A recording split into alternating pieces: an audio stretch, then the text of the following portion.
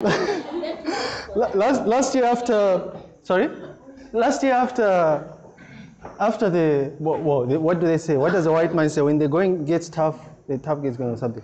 Last year, right, when we got to a stage where we started dealing with uh, the more abstract stuff, the, especially I think the MIPS, MIPS type stuff, I was like, no, we should uh, go and report him to, to the dean so that he goes. Lighton must go. I mean, good luck with that. Go and report. Why? Go and report me if you want to. it's not my. Oh, it's fine. It's not my. It's not my fault that you can't understand things. But anyway, I thought. Uh, but I, the funny thing is, it doesn't matter the, the way the way this works, right? It doesn't matter. It doesn't matter who you bring in to teach this, right? It's the same thing. The content doesn't change, right? But uh, I'm sorry, but someone was using a permanent marker there, so uh, here's to hoping you can see. Sorry? Today's the last lecture. Yeah. No, but we, we finished off what we we're doing. So we failed. Sorry? You failed what? Well, I don't know. I, I, I can't remember what, what mark you got, but here's, to hoping you didn't fail, right? All right, so t- today is, uh, we're just wrapping up here. I thought I always, I always feel like it's, it's important to talk about, um, so to talk about, uh, or to give a rundown of what we've done and to, to maybe just talk about a few other things that have perhaps nothing to do with the course, um, which is why I thought it was important for us to have lecture series number 26, right, which is the epilogue. Very sad that even in the last lecture there's noise, right? I wish it was primary school where we had class monitors. Class monitor, right? The noise maker. But, um, okay, so just uh, I want to remind us, I'm going to start off by reminding us what we have done since we met for the first time in here. We've gone full circle now on February 18th. And I think it was a Wednesday or something, I don't know, I can't remember. Monday. Was it a Monday? It was a Monday, it was in here, right? Um, incidentally, the exam is going to cover everything that uh, the content covered from February 18th all the way up to October 25th, right? Um, the reason I'm saying October 25th is because the tutorials still go on, right? So you want to make sure that you go through the lecture slides and the notes and the references and the tutorial sheets, the questions in the tutorial sheets, very important. I would do, I would do that if I were you, right? Um, but, but essentially what we've done in the last, what, is it nine, is it nine months or something, eight, nine months, probably eight months, is we were working towards um, these broad objectives, right? So everything we've done is tied onto these things here? Um, and you notice that, so the objective, are, the obje- these objectives are in no way aligned with um, the order in which we conducted the lecture series, but just to remind us that this is what we're trying to do. Essentially trying to better understand how computer systems work, how a computer works. And we realized from the beginning, from the very beginning, that in fact this thing we call a computer system takes so many different shapes and forms, right? So computer, right, system, oh, computer system, nice, expensive iPad, hopefully.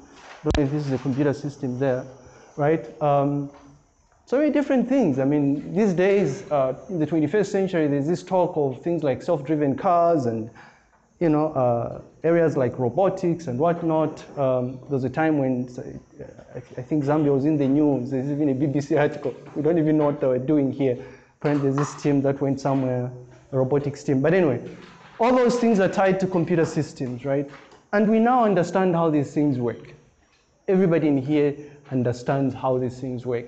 And the beauty with that is because we understand how a computer works, we can go out there next year and learn how to write computer programs that are going to run on these computer systems. You know, we can go out there next year and, and get to understand how we can protect these things from potential threats, right? When we deal with computer security. And you realize that once you start covering those, those other concepts, it's a lot easier for you to understand what's going on if you were paying attention in this course, right?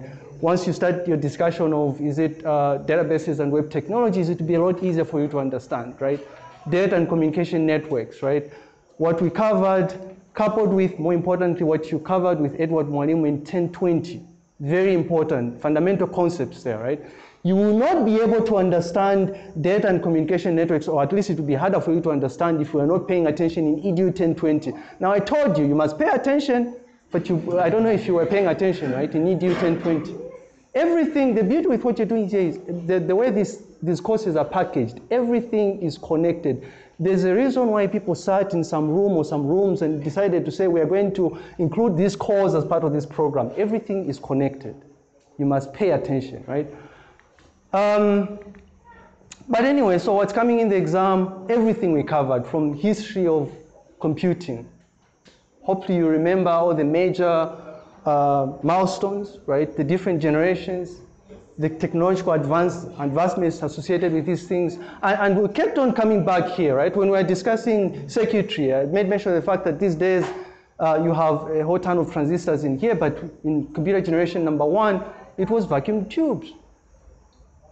Right? They all, they, they, they all accomplished the same objective, the same goal, right? Controlling the flow of electricity, essentially. Right? You must remember the different classifications of computer systems, which sort of scenarios this can be used in, why it is desirable for you to have a server-based computer system as opposed to a microcomputer, for instance. Why? Where would you use this, right? Uh, we looked at so many different characteristics. Remember those aspects, right? Cost, size, yeah? Efficiency, all those different things, right? But anyway, uh, and it turns out there's a pattern as you, uh, if you look at these things individually, right? the size increases, the performance increases, the cost increases or something, right? Um, and then we spent uh, quite a bit of time on computer software, just because most, if you look at the, the outline and we have a discussion of the courses that are coming after, after first year, you notice that most of what you're going to be dealing with is centered around computer software. Most of this stuff, right? From uh, 20, 2010, 2010 next year is computer programming, introduction to computer programming, um, to 2021, which is computer security. You're, you're, for the most part, you're going to focus more on the software, right? Um, once you start looking at databases and, and web technologies, that's all software you're talking about, right? So which is why we spend quite a bit of time here and we know the different types of software. Um, softwares out there now, the different categories that are there. Um, you know, uh, is it system software to application software and the different types of system software, the different types of application software. We realize that there's actually things like uh, portable applications, desktop-based applications, web-based applications, cloud-based applications, right? Which incidentally is becoming the in thing now. The vast majority of people typically use uh, cloud-based applications. Like, I they ever install uh, software on my machine, right? Because most of what I do is just, most of the tools that I need are on the cloud. When I'm creating my slides, I go on the cloud. I use cloud-based software. What's that? Google Slides. When I'm writing, when I'm preparing those um, assessments, cloud-based software, Google Docs, right? Those things that uh, you were taught by Edward Mwalimu, you know, like office packages. It turns out that that uh, when you It turns out, I don't know where the mm is. It turns out that uh, the so-called office package, even though, and I, I, I'm, I'm a very strong proponent of cutting off some of these things, right? Why, why the obsession with office, Microsoft Office package? Why can't we focus more on Google Tools? There are alternatives out there, right? Is what I'm trying to say here. Doesn't matter what you're using, but the fundamental concepts are the same. When you're using, when you're working with a spreadsheet application, doesn't matter if you're using Microsoft Excel or Google, uh, mm, Google Sheets or LibreOffice Calc, which is what I like using myself, right? The concept is the same, right? Those fundamental concepts they told you with regards to how a spreadsheet application works. They apply all sorts of different applications, right? Which is why it's possible for me to open a Microsoft Excel document, right? Using LibreOffice Calc, which is why I can import that same file in Google Sheets. Concepts are the same. But you must remember everything that we covered in here. Licensing, right? You know, we, we covered so many, so many interesting things and it will come back to you next year, actually. Because it turns out once you learn how to program, the, one of the things you're going to have to do is you, you, you actually write software applications that you're going to share with other people. What do you do after you do that? you specify restrictions associated to that particular package that you've created. Is it going to be available free of charge to people? Is it going to be open source so that anyone can just get it and remix it or make changes and uh, come up with a derivation or a different version um, of software that is similar to what you created, right? Licensing. We, we, we did so much. Um, I'm, I'm very happy that we, we, we actually spent so much time here. And I think in subsequent years, maybe we should do much more than we did in computer software, just because, right? And now we understand why you cannot go to, to Play Store, right, to the Play Store and download an application, say you're going to install it on that machine, on that machine. Yeah, we discuss all those things. We know, know why. And then we, we really spent a bit of time looking at, uh, we tagged it as machine structure, but essentially what we did was we, we narrowed down on the so-called von Neumann architecture just because it's the basis for most contemporary computer, uh, computer systems. Right? Please, remember all of this. What makes this course, I guess, the exam especially, what's going to make the exam a bit, uh, mm, is because, no, no, no, it's because, it's because, it's because of, um, it's, it's because it's a, it's a full year, it's a full year long course. It's a full course which, which has two different parts parts that are supposed to be ideally separated, right, from each other. Um, so you want to make sure you, you revise all of these things, right? More, I guess, challenging. Not, not that it's, I was trying to avoid the word challenging because it's not going to be challenging. It's just that we've, we've, we've covered so much, right? Um, so you'd have to revise everything we've covered from February 18th up to now, which is don't don't even think no i'll just focus on uh, on MIPS because and i'll talk about the structure of the exam. The exam has two sections right? There's a compulsory section and, and the section where you get to choose what you want to like what questions you want to attempt right? So in, in, in the second section it's fine because the second section will probably have components from computer uh, computer systems and computer architecture right? So uh, it becomes a lot easier for you to, to, to pick and choose there. But for the optional part what are you going to do if you don't revise uh, things that we did last, last term, right?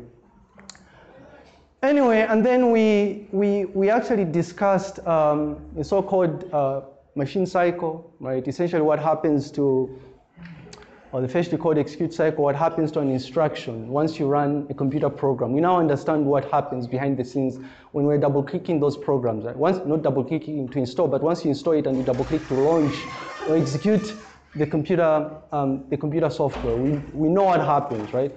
It goes up there in RAM uh, or ROM, depending on what sort of computer system you're using um, or what application you're working with.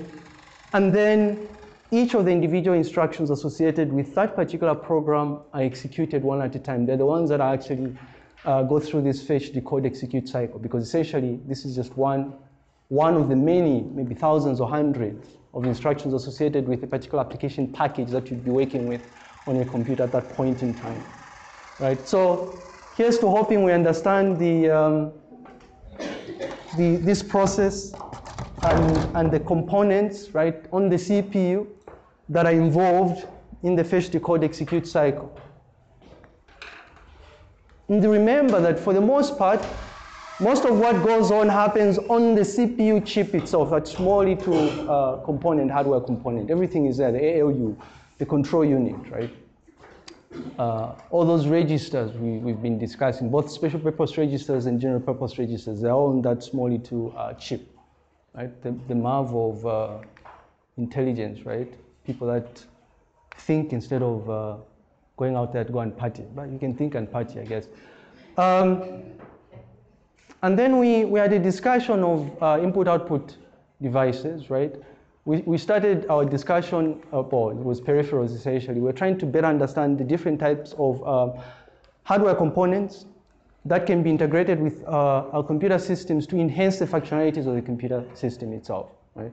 This is why yesterday I was asking for USB Type-C, and people didn't know what I was talking about. And it's like, oh, fine. What is the difference between a USB Type-C and micro USB. Don't know. Sorry? So the difference is it's a new one, right? Okay, yes. Yes. That's one of the differences. It's bo- doesn't have those things, but hmm? No. No. What? What do you mean it's plus? Okay, so people have been reading, they know what we're talking about. That's good. We are happy. Correct. 100, 1000%, I guess, I don't know. Um, and, but fundamentally, right, we, we realize that these different devices can actually be classified into different, um, different categories. The, uh, the other time, right, I, uh, I, I came across, I was cycling home and I, I bumped into this person who was, uh, I was shocked. They were dismounting uh, the speed, uh, the, the speed traps, you know, the camera traps that they have along Great East Road. I didn't know. Apparently, they move them around a lot, right?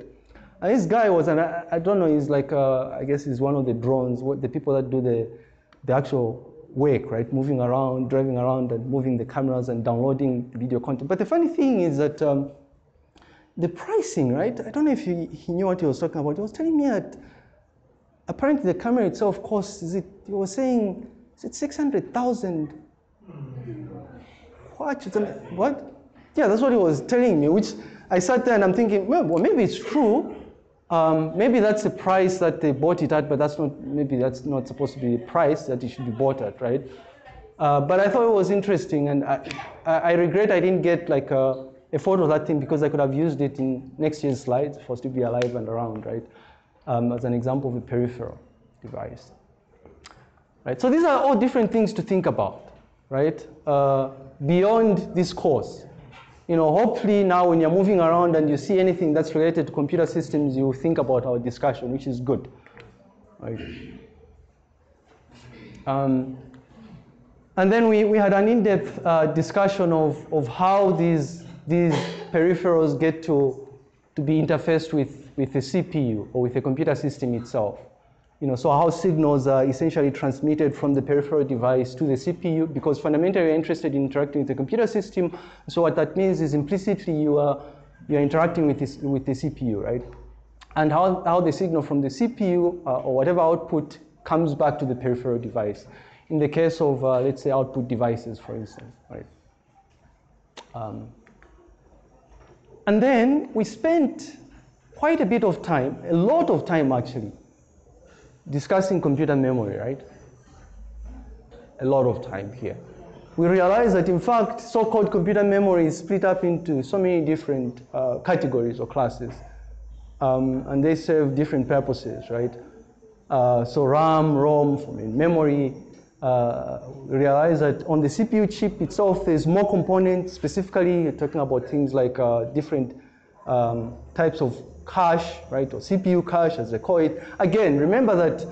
So this word cache is is used elsewhere, right? You can have um, cache associated with um, secondary storage, cache associated with your browser, for instance. Um, so we were explicitly tagging this as CPU cache because we're looking at the memory component that's located on the CPU itself. And also these temporal memory stores called registers. Even though during this particular discussion, we didn't really talk so much about registers because we already discussed registers during the fetch decode execute cycle, right? Um, and then we, we realized that, in fact, there are certain tricks that people have come up with to try and compensate for the fact that uh, because RAM is expensive, you only have uh, very little RAM that you can work on your computer. So what happens if you, you need more RAM? You can take advantage of the cheaper secondary storage and convert portions of that into virtual memory, which will be perceived as RAM, right? But a lot was covered here.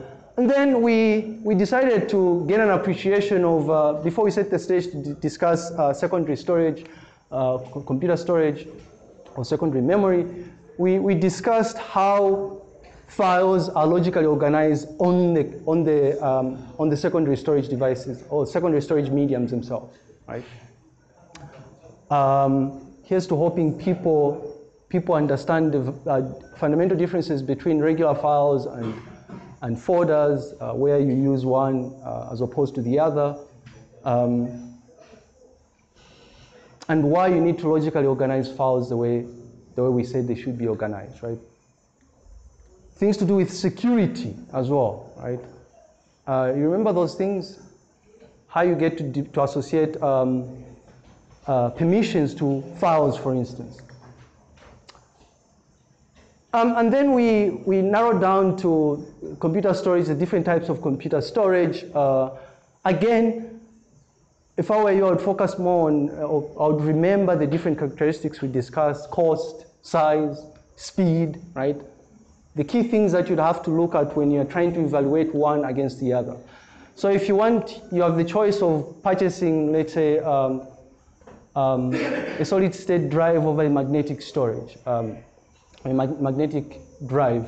What sort of things do you have to, to look at? What sort of um, characteristics do you have to pay particular attention to, right? Cost, size, speed, those different things. And interestingly enough, we also, we also discussed um, network storage and cloud-based storage, right? Um, so how we take advantage of these things and why we would want to use cloud-based storage over network storage, right? Um, and during this discussion, I think we snuck in things to do with um, backups. I don't remember that. Uh, hopefully people have started backing up, although I know they haven't because uh, for the longest of time I've been asking people, scan your scripts and share them, nothing. Scan your scripts and share them, nothing. What are you going to do, right, when you realize that uh, there was a bit of a mishap in recording your grade and you've lost your script? If the Moodle says you got a 1 but you know that you got a 9 and you don't have the script, what are you going to do? Well, you didn't back up, I don't know. Okay, and then we had a discussion of uh, computer abstraction to get a sense of why this is important. And I think in subsequent, I guess, uh, years, we probably would, would, would, would need to discuss abstraction before, yes, at the beginning, because it turns out that it's a very important um, area, right, that's used in, in, in so many different um, so many different topics in computing. You realize that when we studied our discussion of the von Neumann architecture, we were using abstraction, right? Although it was much more important when we studied our discussion of computer architecture anyway. And then, lo and behold, we did a bit of uh, very elementary mathematics, right, to do with uh, binary numbers. Why? Because a computer works with ones and zeros. Although we now know as experts that it's not ones and zeros, it's electric current, right? don't act like a fool and you go there and you're like, computer, it's ones and zeros. And someone asks you, but how? You know, it's, elect- it's electric current. We say ones and zeros because you are abstracting. You know that someone will get confused when you tell them it's electricity, right? So just tell them it's ones and zeros, right? Everything you're doing, you know, when you're playing games, it's ones and zeros, right? Everything, you know, all ones and zeros. Please, guys, remember the rules we discussed in the different uh, things that we talked about when you're adding. What sort of rules do you have to follow, right? Dropping ones, one, one, one, right? It's one, remainder one, all those different things. The fundamental differences between sign magnitude, one's complement and two's complement, all these things we discussed, right? And we had fun doing this, in my opinion. Yes, we did. Well, well I had fun doing this. Now, and then we, we had a discussion of um, a, a, particular instruction set architecture that we're interested in looking at because it's much simpler than the others that exist and also because um, there's a lot of resources available out there. The MIPS instruction set architecture, right? Um, uh, and after our discussion, we, we had a, a, very basic introduction to MIPS assembly language programming, different elements associated with the MIPS assembly language program, for instance, right? People failed, right? Tell us the lines that show us a directive. Where is the line? Just like list the line and uh, all the lines, right? Directive. And there were people that were, uh, where you have an add, right? Someone was saying this is a directive. I'm thinking, okay, no, right? yeah, people were saying this was, this was a directive, right? Where is the directive? Where is the comment? People, and I, and I think this is the thing here the people that probably weren't getting this right are people who are not reading. Because if you've been reading, if you've been practicing, if you've been attending the tutorial sessions, then, I mean, it shouldn't have been hard for you to identify where the comment, where the blank line is. Where is the blank? Someone points at something that's different, right? Don't even know what a blank is, but hey. Um, and then, no, they don't. And, and then we, we, we decided to look at some MIPS instructions, specifically our focus um, I guess at the very beginning was on um, arithmetic operations, right, and system calls, right. And we mentioned, we made mention of the fact that we didn't discuss all the system calls associated with MIPS, but just a few select system calls. Like for instance, we didn't look at how you get to read a character or print a character, read a double, read a float, right, or print them out, because it turns out that the, the process that you follow for you to be able to do all those different things is different um, from when you're working with an integer, for instance, or a string. But, but the key thing here is, at least when it comes to system calls, is each particular um, service that you request from the operating system has a specified uh, list of steps that you have to follow for you to perform or to request that service. Like for instance, if it's printing a string, you know that the first thing you have to do is specify the system call code, right? And then you specify the register where that string is sitting in memory. And then boom, you issue syscall, and then you print your integer. Um, and then uh, to, to wrap up on, uh, I guess, assembly language programming, we just had a, a discussion of looping constructs or loops, how to implement loops, procedures, and, and, and uh, branch, branch constructs, right? So how do we divert program flow, bearing in mind that the default execution is from top to bottom, right?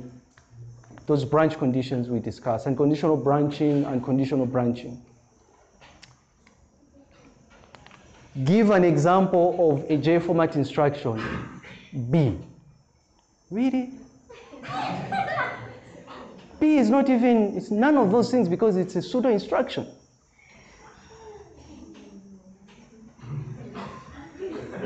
And the, the funny thing is, some people are even failing to give examples when the answers were at the end.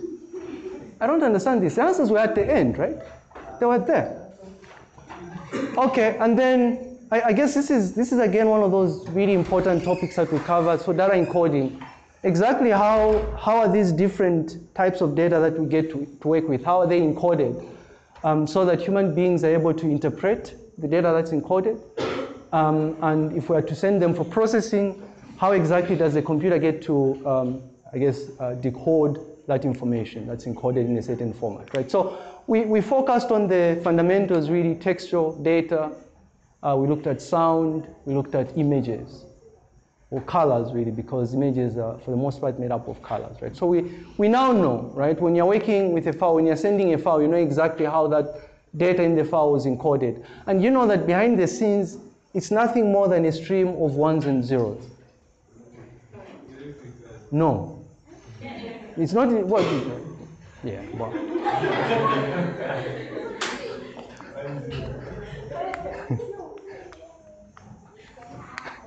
the, the electric current is, is tied to how a computer processes that information. Encoding of information has nothing to do with the electric current, right? Encoding is just uh, how you're representing the information. Like, think about it from the perspective of how data is encoded on a CD. You're encoding it in, in, in a way in which the computer will be able to interpret it as flow of current or not, one or zeros. So how do we do it a, on a CD? Pits, yeah, yeah, or picks and troughs or something, whatever you want. So um, you use laser to just, uh, if it's a if it's a zero, then you probably burn that portion of the CD.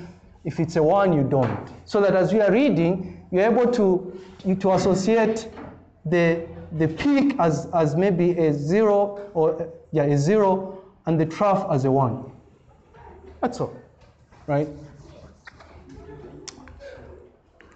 Okay, so we, we understand this, uh, which is good. And in fact, we had an appreciation of this thing here. When you, see, you now know that uh, when you're working with an, um, I guess, a, a software application for manipulating images and you're playing around with colors, whenever you see something like FFF00, you know that this is one way of representing colors in hexadecimal format. Why are you able to do this? Because we had a discussion of hexadecimal number system during our discussion of number representation. Everything is connected. Don't take my word for it, now you know. And then, um, and then we, we, we were interested in seeing exactly what sort of path that instruction follows as it's fetched, decoded, and executed. What sort of path does it follow, right? Um, how does the computer get to, to interpret what it should do, right? So we're tracing those three different instruction formats. At least to do with MIPS here, right? Those ones and zeros. And for MIPS, it's the stream of 32 ones and zeros. What path do they follow depending on what sort of instruction you're working with? If it's an add instruction, what hardware components are involved? Just to hoping people understand, uh, very important uh, concept in my opinion. Um, and it's not ones and zeros, now it's electric current, right? Um, and then we, we just glossed over, it was, I guess, an introduction to digital logic, um, logic structures or digital logic gates, if you want to call them that, essentially to get an appreciation of how these fundamental building blocks, the things we are calling gates, how they are used to build the hardware components that we discussed for the most part in here. So how exactly is uh, an ALU constructed using those logic gates? Because, by the way, right, and when someone asks you, uh, the ALU, it's not like it looks like this, right, and you know this. We are abstracting we were abstracting here. This is not how an ALU looks like. Essentially, it's implemented using those gates that we discussed. Right? Yeah. And, or, exclusive or, NAND, NOR, right? Not. All those different gates are used to construct this thing. Uh, and in fact, it's not like the gate looks like this. Right? It's transistors that you have your, in your computer system that are used to implement these gates right? But of course, our interest was not to go beyond the um, beyond this uh, logical layer here, where you get to look at how you you implement these gates. Uh, but I do encourage you to read up on these things. Very interesting. A while back, I I, uh, I was involved in a um, in a microcontroller uh, programming course where we actually worked with um, with uh, with these uh, I guess toy toy components to try and implement some of these things, right? They do that a lot in engineering. And, and I'm sure there should be like clubs that, uh, student clubs that owns, I'll be surprised if there aren't any, where you can go and uh, uh, play around with these sort of components, you know, breadboards and things of that nature. Uh, so, so, this is not how it looks like, but it's just a, a logical representation of how an, uh, she said this is a, well, sorry, she didn't say, how an AND gate looks like right? or is it NAND? I don't know. Guys, so just to remind you, right, that everything that we covered is available, all the resources that were used for this course as you are revising for the final exam. They're available on the Moodle, everything. If I were you, I would re-download things because we made certain changes, right? So you want to make sure that you have an up-to-date copy or up-to-date copies of these notes. Um, there's nothing like the notes said. It's about what's true, right? So everything is on the Moodle. Everything that is on the Moodle, most of the things on the Moodle are on the course web page, right? Uh, and the course web page can be accessed using a quick response code. This, you got the course, we discussed quick response codes, right? Yeah. So you can access the notes here, although everybody has access to the Moodle as well, uh, I guess. But if you're at home and the Moodle is slow, you can just go to the course webpage and boom, you'll be able to access the notes. Yes, sir? Yes, sir. Uh, you stopped uh, uploading the solutions to the quizzes. They were discussed by the tutor, yes, in the tutorials. People are missing classes. Yes? For revision purposes, now that you won't be attending the labs, you're using the labs soon, also, I guess. So as we are revising for our exam, will it be okay if you uploaded the solution so we can? It will be okay, fine. We shall upload the solution. Yes, sir, I stopped uploading the solutions. We shall upload them. We apologize if you were inconvenienced, but don't know why you're saying it now. Okay, and then most of the things, right?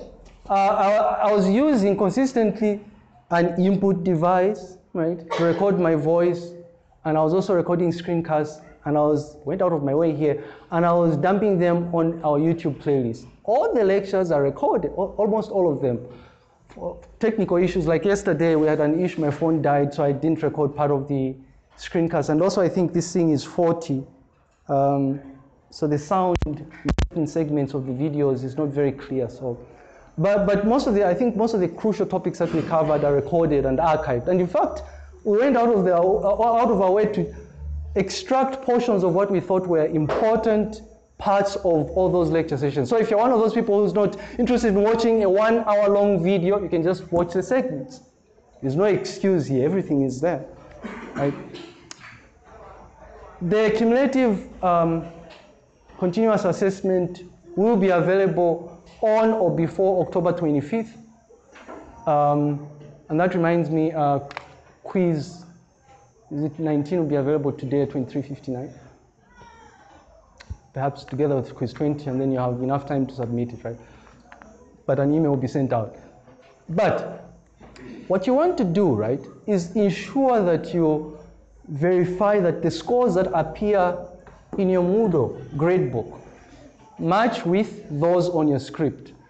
If there is any discrepancy, you must report so that we fix this because it turns out that the things you're seeing on the mood are the things that are going to be used to compile your course grade. Right, so you want to make sure this is correct. If there's any missing entry, fix this, have this fixed. Right? And you want to do it before, uh, before you realize that, oh, you want to petition and whatnot, it takes time, right? So, sorry, yes.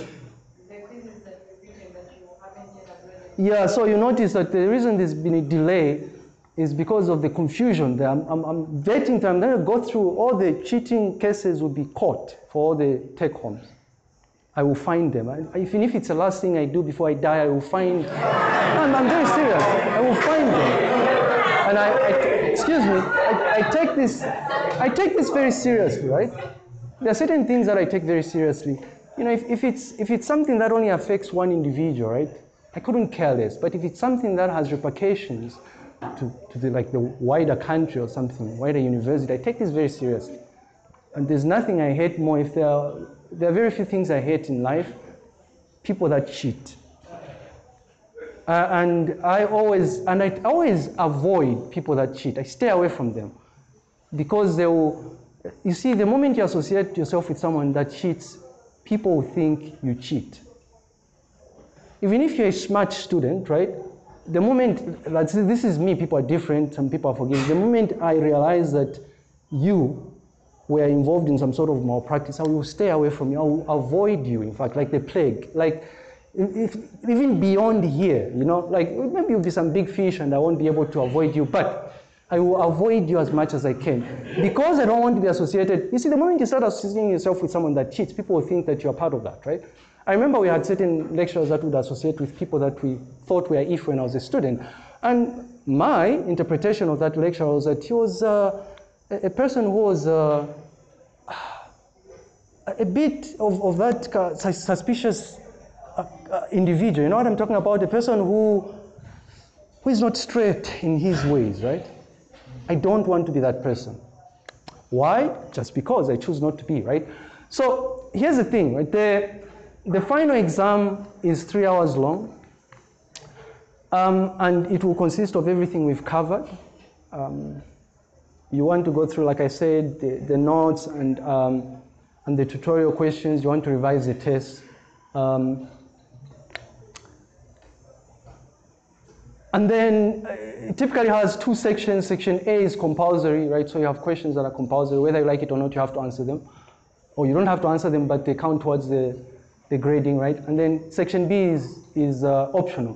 So give you an example. Last year, section B had uh, four questions, and then you had the option to choose two out of the four, right, which was good. People, right? They avoided only one. is it only one or two people answered this question? Look at how simple this is, right? This, by the way, this is a full adder we discussed yesterday, right? And free marks, right? State the name of the logic gates, right? You said gate. Yeah, it was S, gates. It's supposed to be gates. Uh, so I'm like, can I name the whole thing or it's Does this thing, uh, Do you think Isn't that the is there such a thing as what is the, when you talk about logic gate? It's one of such things, right? If I were you and uh, I'm in the exam and you're confused, instead of wasting time, what is he asking here? Raise up your hand and then ask. You're allowed to do that, by the way. You're allowed to raise up your hand and ask. Yes. You don't understand the question. Nobody, there's nothing wrong. What's wrong with that? There are times when, if you're going through the questions, there are times when a question might have a mistake. It happens. Which is why when you're writing that final exam, the course coordinator is always there as part of the team that's invigilating. Precisely for that reason. Yes? Oh, I was in such a situation last time we were writing, and you were in the other venue you were using, and I couldn't even ask, but I didn't understand the question in time. But when I asked which- you, I told you about that, you just told me, no, it's your point. No. I, thi- I think my response was that because uh, the question that you were wanting to ask for the test, right? And the test is a special case in this case because I have to run across two venues, which is a, a bit weird. That's changing. But for, if you notice, right, for questions that I, I knew were not very clear, I would make an announcement in most of these tests, right? Especially those where you have numerous people asking questions. But for, for, for, for questions where I know that it's just a case of you being unable to understand, maybe, or being confused in the exam, I just said, But Yeah. isn't that the whole point of you being there? I'm supposed to be able to ask you. Yeah, well, I, I apologize for that if that's the case. Which question was that, by the way? no, that's Which question? No, you remember the question number. Come on. Okay, fine. Yeah, but in the final exam, right? In the final exam, because you are in the same venue, that's not going to happen. You all sit in the same venue, by the way. So, oh, sometimes you're split up, I guess, if there's an issue with venues, I guess. In which case, the person invigilating will come and call the course coordinator, say, there's a question, can you come there? Yeah.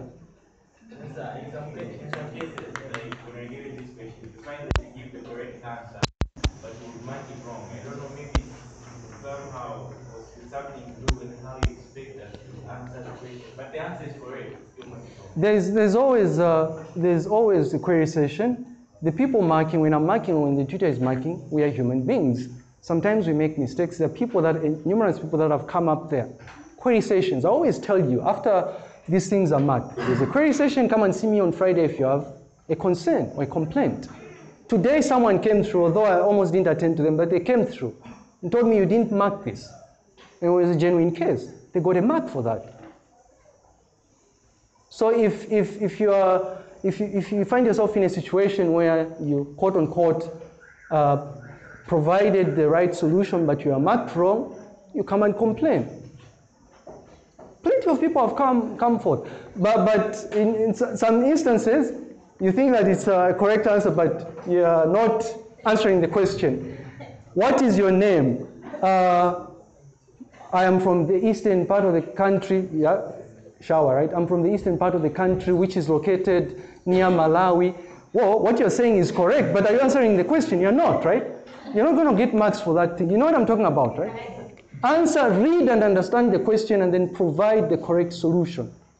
You get marks for providing the correct solution associated with the question. Yes?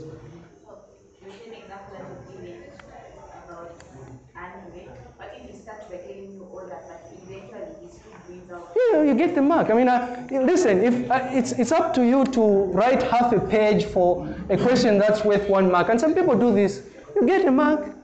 If you want, you can go around in circles, but as long as, and it would be read, although it's extra work for the person marking, right? We'll read that and you get a mark. And, and you, you've not, I think you've not, some of you have noticed that when I'm marking, I'll cross out parts that I know are irrelevant when I'm marking. I'm trying to remind you to say, the next time you're answering a question similar to this, this is all garbage, it's irrelevant, don't waste your time, focus on the more important things right? It's fine, you can write if you want to. And uh, God knows why you'd want to write half a page, right? One oh, or 0.5 marks, half a page. What are you doing? Okay. Um,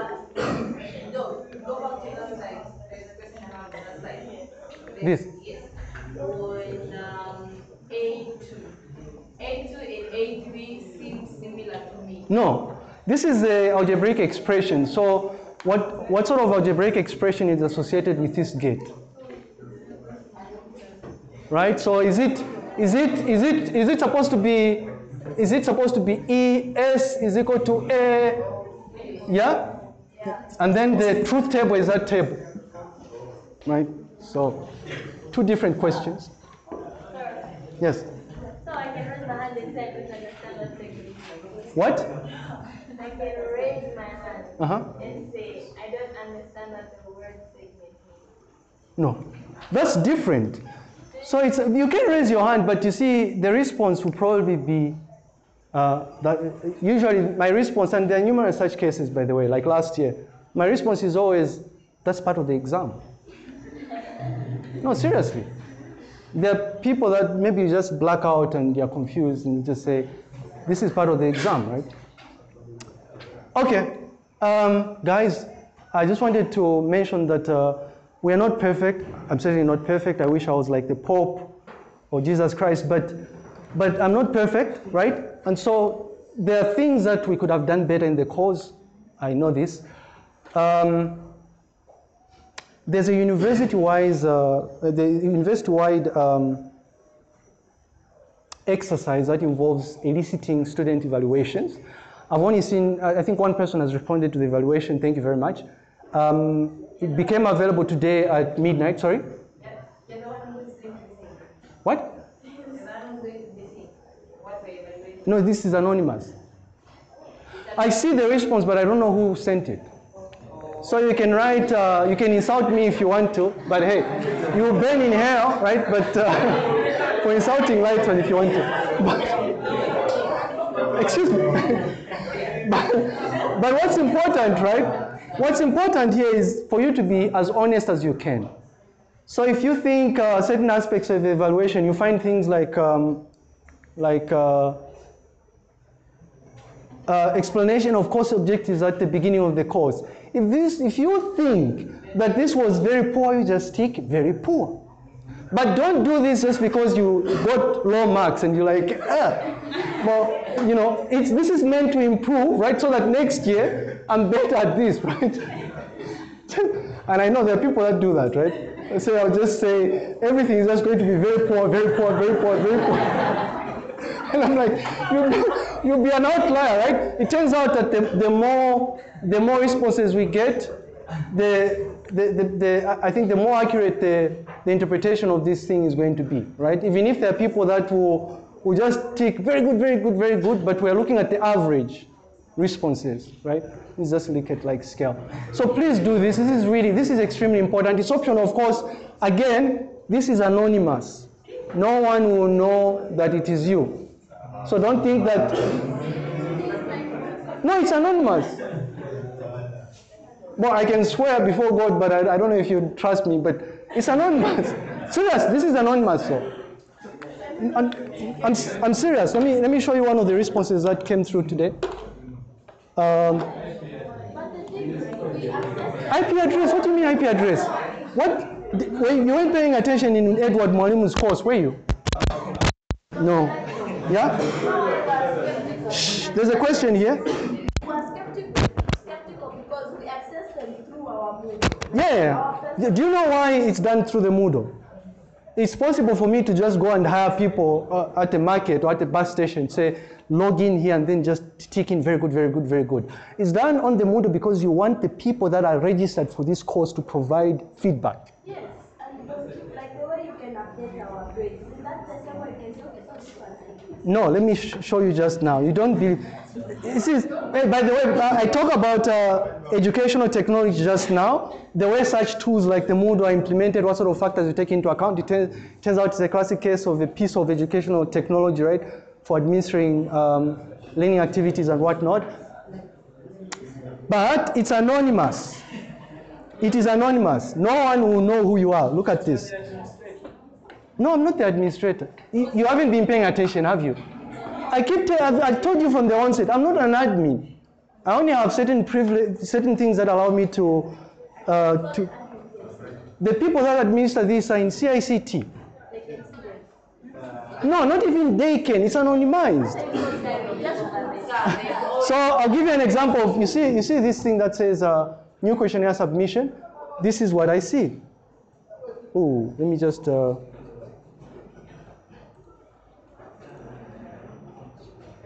I don't know if people can see this. No.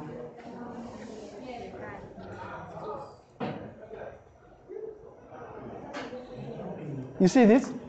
It just shows me, it just shows me these details, but I, I don't know who sent, who sent through this questionnaire here, this response, right? Um, so this person just provided my details here and uh, the question for, let's see what they said, right? Explanation of course structure. Very good. Thank you very much. I, I didn't know that. now I know I've been good, right? But uh, ability to, to explain new concepts. This person thinks it's just good. But what's interesting was uh, you, the way you know this was a listen. The way you know this was a this, this is subjective, by the way. You see, your interpretation of whether my explanation of new concepts was good is based on you as an individual. You might think I was good or bad, right? But the thing is, we're looking for the average. So if more people say he's bad or very bad, then you know it's How bad. are we going to help if there are no source of explanation? Uh, I think they should be. If they're not, if you notice here, right, this was clearly which is fine for me, right? Even though this assurance by the quality assurance department, for me, I'm interested in these, which is why I configured it in such a way that these responses are sent to me. I'm interested in this because I'm going to look at where I don't score as good on those. So to say uh, I'm not good at providing feedback on work then I'll try as much as possible next year to improve on this. Why this is important? You might think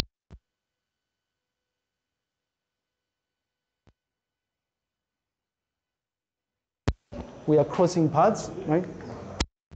Okay, so please, and then there'll be a separate evaluation which won't be anonymous things and how this particular this is for me but the survey this is for me. This is for unza right? Apparently the promotion evaluations. So if, if a person is bad you don't get points to be promoted right? Go figure. If you are curious don't have access to the program document a lot of exciting things next year i do know that you'll be interacting with way, right? Piera is a colleague of mine. We'll be taking you in computer programming. This is a two-year-long course. And then you also do a bit of computer maths. Most of what we did in Boolean algebra is coming back, which is why I did mention that I was glossing over things that you're going to cover in computer or computational mathematics. So this is first semester. And then in the second semester, this is a half, half course. So you do it in just term one. And then in term two, you look at information security. And then this is tagged as uh, methods in library and information science because it's a department um, course. This is a research methods course, extremely important. You want to pay attention in here because in fourth year you get to work on what they call a capstone project and you expected to reuse some of the things introduced here. Pay attention in this course, right?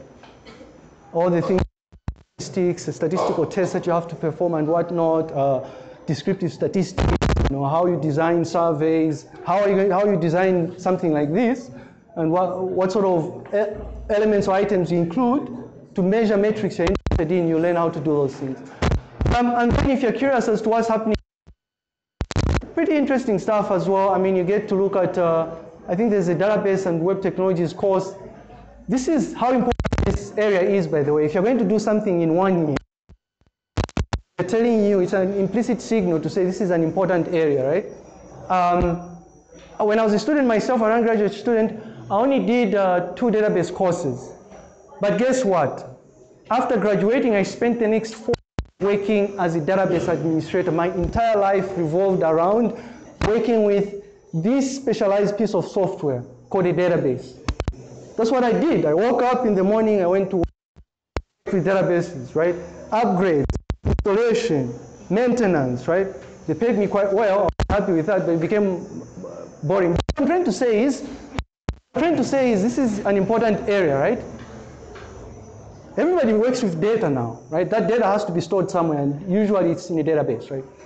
Um, and then you get to learn, I guess, how to uh, develop web applications. So if you're curious as to how Moodle can be implemented, you learn this here, right? And you can only learn how to develop web applications if you learn the fundamentals. Everything is connected. Mother, son, father, and whatnot, right? Um, and then, guys, I want to encourage you to pay particular attention to this. Most of what's going to be covered here is um, technologies that you can use to be an effective teacher like Lighton, right? yeah, well, I mean, I, no, I'm enrolling, I, I'm going to enroll into that. And, yeah, yeah, I know. But I mean, if of technology, right? It turns out, right, for end up uh, teaching like light, it turns out that the, the environment has changed, right? It's no longer chalk and board and permanent markers, right? You use technologies. If, if you go in most of these, find kids using, you know, those tablets, fancy tablets, and if you don't know how to effectively like a which is bad really. I don't know how to send email. You, you write the board in the subject, right? Because you went paying away you.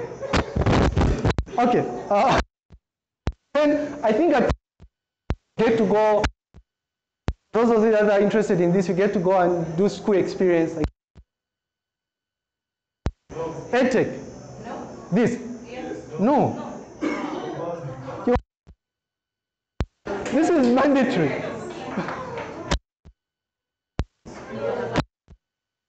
It's, it's mandatory because it's part of, um, the design.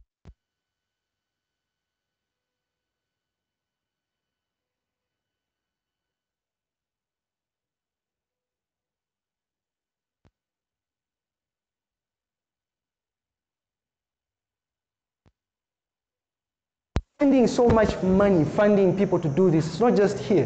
The people at CBU, the people at ZICT College. There is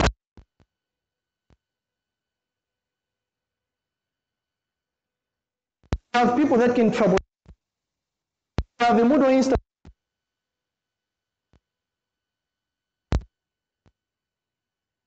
You can't do is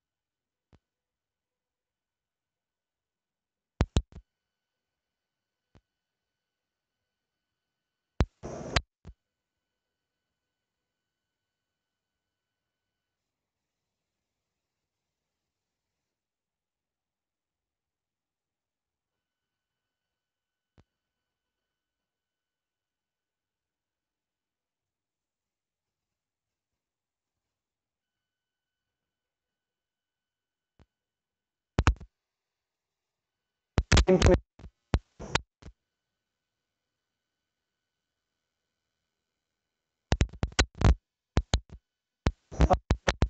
couple of different things here.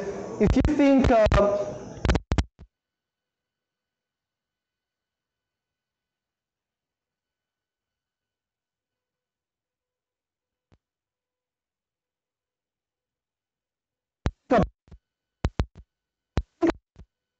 that you think is not going to be polluted by many people, an area that you think very few people will get into. You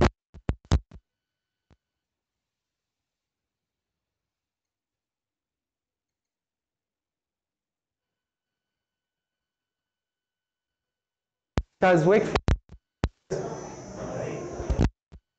and start asking you trivial things and you sit there it's trivial because you did the they're becoming and paying you money hopefully. Shh, sorry? Hey you can't do four, five, six, seven, eight, nine, ten, eleven courses at fourth year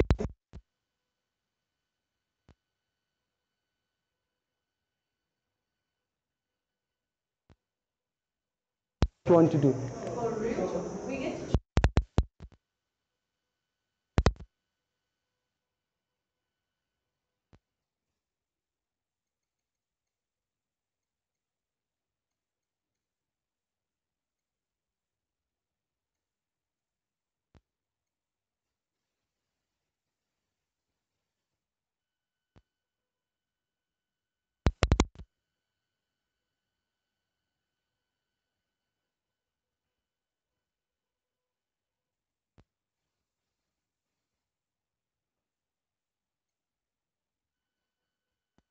I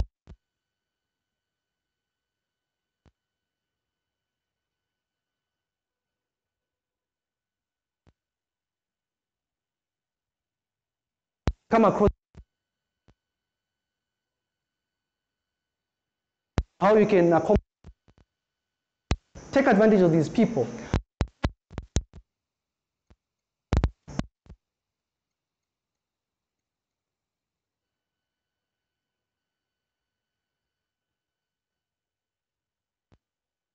But, and I'm sure mom and dad told you to stay away from those people, right? Uh, but it's up to you again, anyway.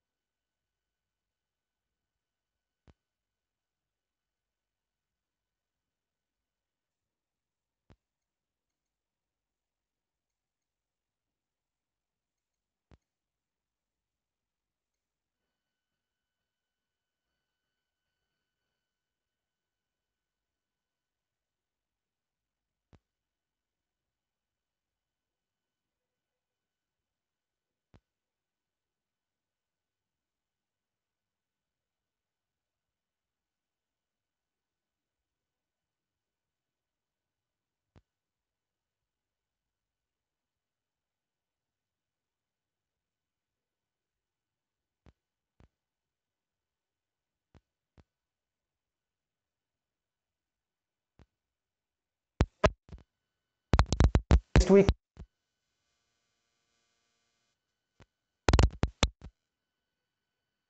so far,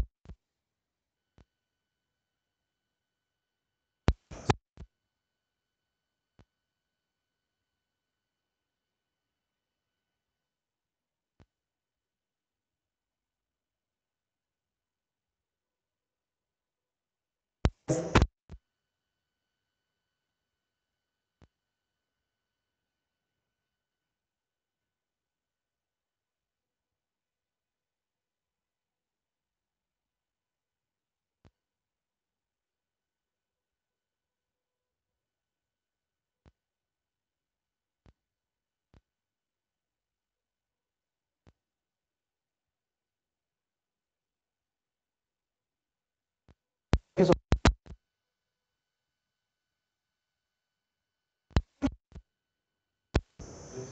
maybe you want to be a sound engineer or whatever they call themselves, you, develop expertise in that area, right? But 2030 and a knowledge and information based society pushing in funding to this. They are laying fiber throughout the country, right? So many opportunities in computing in general. So don't think that uh, it's just teaching. Teaching is nice. Lighton chose teaching. I, I sometimes, oof, and queries from students, right? Handling cheating cases, academic dishonest, so not easy at all, right? It, it turns out you need, you need some people skills. You handle someone comes in and they look like they're all sad and you're can't commit suicide? I said, don't kill yourself, it's just life. Uh, this is, anything in life can be fixed. That was a bad joke, but anything in life can be fixed, I assure you. Don't think that, um, uh, don't think that just because things are not going well for you, then it's the end of the road. No, I assure you, right? Um, it's trivial stuff. It can be fixed, and it's not. There are more important things to worry about than a course grade, right?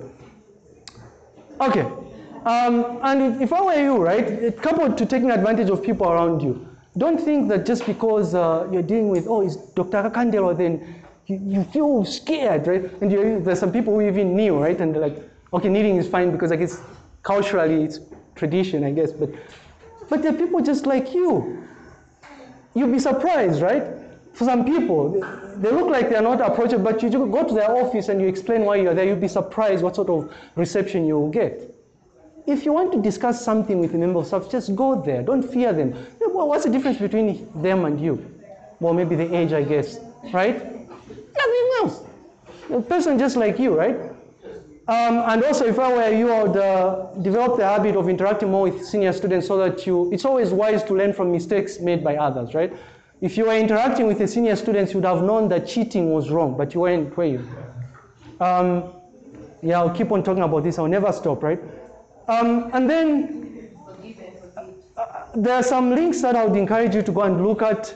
Uh, you want to check out MTurk, Amazon Mechanical Turk. You, it turns out that you can perform micro tasks here uh, using some of the skills that you've learned and any little bit of money. Instead of just Facebooking, you can do this, right? If you go to places like, uh, is this Upwork? If you go to places like Upwork, you notice that some of the skills they're looking for are skills that you've acquired in maybe data analysis using Excel. You can do this. You know why? Because when you're interacting with someone on this platform, they don't know who you are. They don't even know that you're a first year or something. As long as you are an expert in this area. I do encourage you to do this. Please visit these, these places. This is quite nice stuff to get used to. Especially as you're going on vacation. Don't just go on vacation and do nothing. Uh, if I was teaching you next year, one of the very first things I would have asked you was, what sort of online courses did you do during the VAC? What sort of new skill did you acquire to do with this course, right? Okay, um, and then uh, in closing, guys, please, the surveys are quite important. I, I, I would really appreciate it if you'd uh, fill out the surveys. And I assure you, these are anonymous. I'm recording this, right? And I swear to God, these are anonymous, so the gods, if you pray to different gods, right? I'm not joking, these are anonymous. No one will know who you are. Just make sure that the, these are like uh, honest responses, right? Um, and then in case you think that you need to come, come and chat to me before the exam, just take note that I'll be working from out of town during this period. So I will not be around in this period and this period and that period. I'm not sure about this period. If I'm not around, then someone else will invigilate on my behalf. But I'm certain I'm not going to be around in this period. So make sure you see me. If you need something fixed to do with your CA, you better see me outside the, the outside these slots where I won't be around, right? The advice I have for you, stay away from cheating.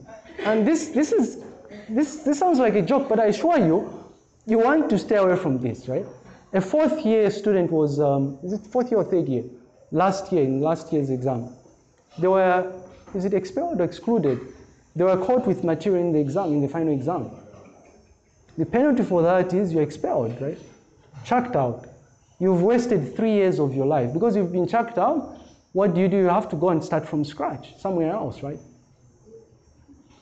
It's tainted. Your image is tainted because your colleagues know who you are now.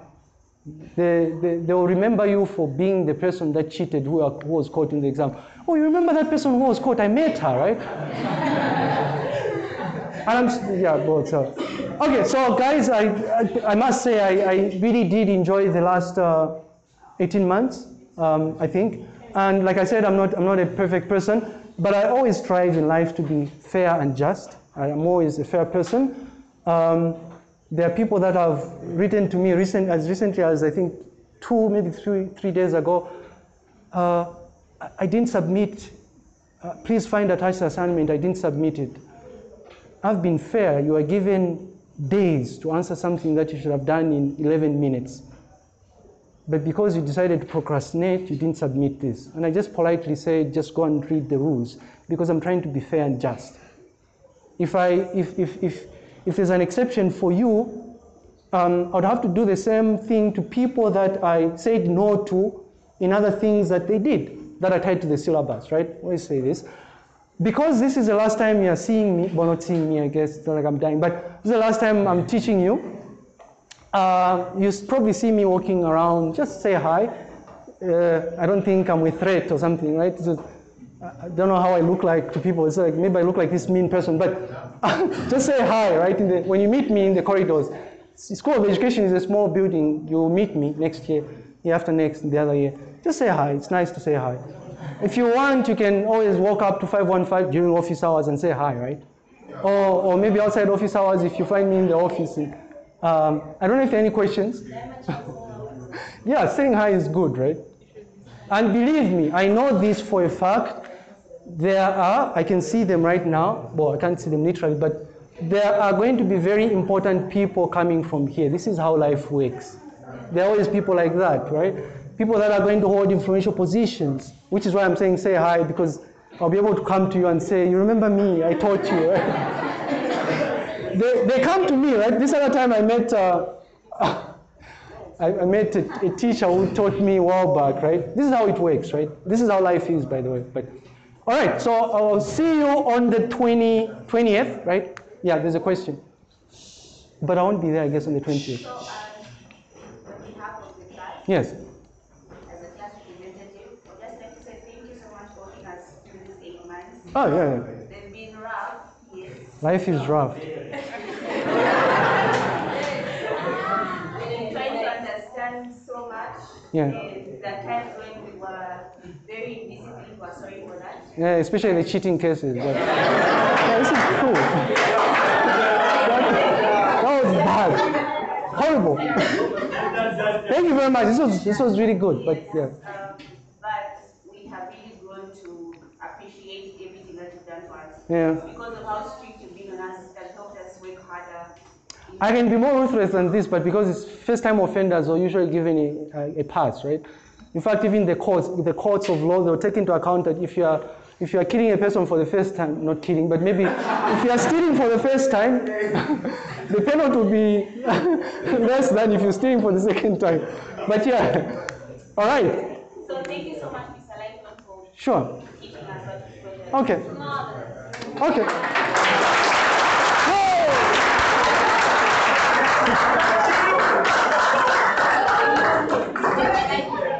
Okay, yeah. No. Go and read the syllabus, right? No, I mean, this is the thing here. Now, wh- why do you want to, excuse me, why, why do people always want to spoil a good moment, right? I understand. And I, I, I really don't, I, I thought we, I thought we, excuse me, why, why do you want to do this, right? You, do you remember this? I, uh, the first time, the first and only time that I printed out a document to you, I printed out this document. The reason I printed out this document is because of, excuse us, sir, of class here. And- this is disappointing. I know him is from last year, right? Why? It's from it's, it's the second year from this program.